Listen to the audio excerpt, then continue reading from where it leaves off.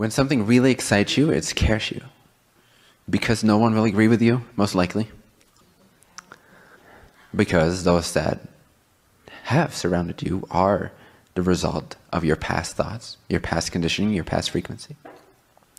So when you think of a new expanding, new state of being, vision, frequency, inspiration, it takes you to another level of expansion, another level of understanding, another level of intelligence, sometimes unimaginable, unspeakable. How does that compute with your circumstances? Well, it doesn't. And that's where it often frightens you a little bit. It triggers you. But that's good, huh? So every time you expand, every time you ask yourself, what am I psyched about now? And usually it's a form of dropping a whole thing that you've been holding on to because of some idea of lack and this is bringing you security or whatever. And just drop that whole thing that doesn't feel good anymore. Enlightenment by elimination. Eliminate, eliminate, eliminate. Boom, boom, boom, boom. Out of love. It is a loving attitude. It is in alignment with acceleration. And acceleration helps all that is more effectively than when you think you're helping all that is. The only way you're helping all that is is to be psyched. That will guide your way. Be psyched. Be stoked. Be excited.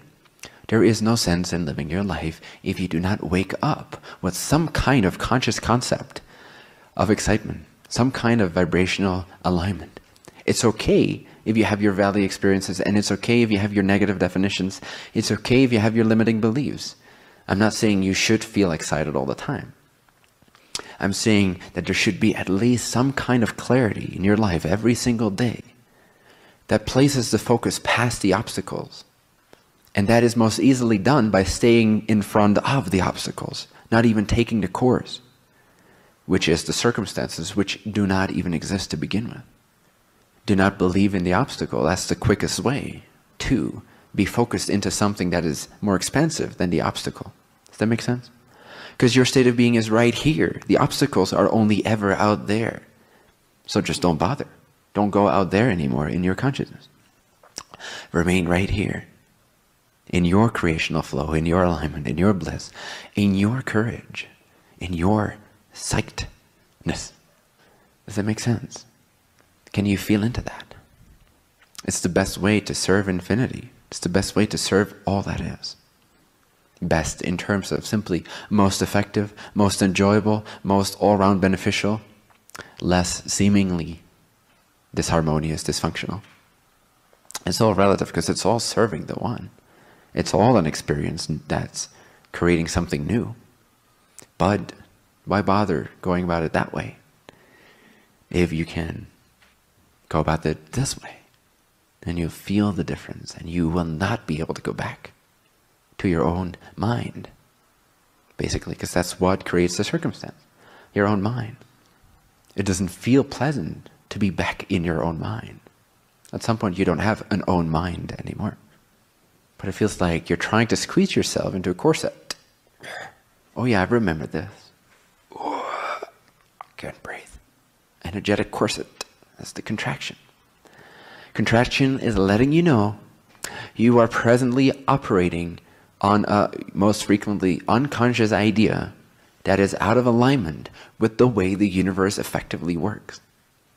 It's still a truth. You can still exhibit it, believe in it, express it, work from it, try to make it work, try to make it be part of creation. But it doesn't work. It doesn't flow. It's not in alignment. And so you feel that. There's a perfect mechanism right here, right there. Your body. It's just meant to let you know what's up. Hey, buddy, pay attention. You're too focused on your circumstances. Oh, that's great. Thank you. Instant liberation. No need for psychotherapy. Ta-da! Whoa. I actually interpreted feelings the way they were designed to be interpreted. Contraction means you're believing in an idea that's out of alignment with the way the universe works. Expansion means you are riding the wave of the way things actually work. That's all there is to it. There's only one emotional spectrum with two ends. Bliss and depression, however you want to call it. Lack and abundance. There are no 28,000 emotions. Those are perversions. Those are ridiculous perversions of this one mechanism. The emotional body becomes more and more and used to be and is meant to be and designed to be this crystal clear energy, this crystal clear vision of what resonates and what doesn't. That's it, end of the emotional being. That's what the emotional body is for. That's its only function. We've given it way too many jobs. It's a little burned out, a little overloaded with ideas that don't fit into your natural frequency expansive self. So why am I saying all this when I say the meeting is about creating your reality? It's because creating your reality is effortless. It really doesn't require you as a personality to sit down and visualize the life of your dreams, although they can totally, totally be an activator. So it has its place. But if you understand this principle, it will do all that for you. And sometimes you use your imagination and your visualization because they are non-physical and they are not focused in on what is. They are actually tuned into what is possible so that what is possible becomes what is naturally, like a downpouring stream of energy. As long as you're focused on what's next, which is actually not contradictory to the now, because that taps you into your bliss, into your joy, which taps you into the eternal now, which is inclusive of past and future. It's not a slice in between the past and the future. Just be here now, be here now, be here now. The future is here now. The past is here now. Expand that vision of acceptance. Acceptance is all that is already. You have nothing to do with that. You never had anything to do with acceptance.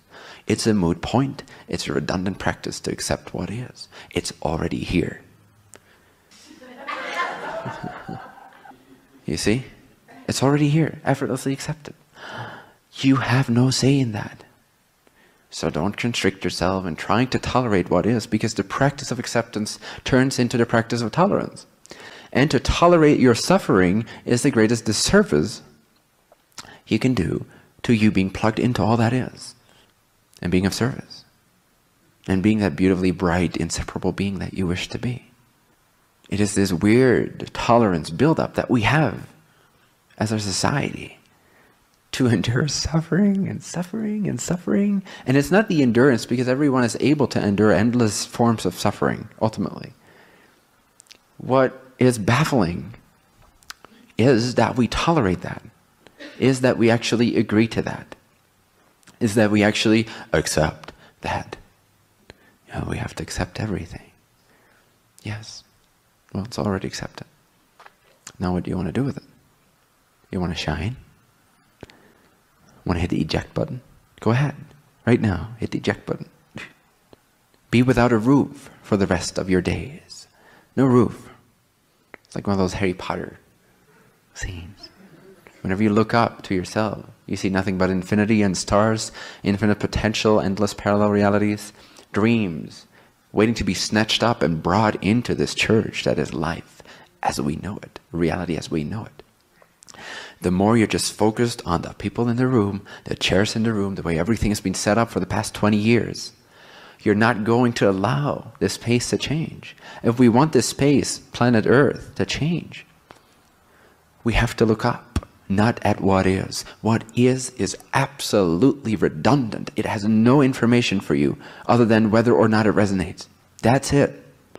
Does it excite you? No. Move on. Expand your vision. Look up to the sky. Look up to infinite potential. Let it tune you into infinite possibilities because that is the eternal now. The eternal now does not look like tolerating suffering. The eternal now is endlessly blissful for no reason, even though it has infinite reasons to be blissful. Infinity being the main one. Infinity is, by default, by nature, a blissful reflection because it's infinite it negates everything else.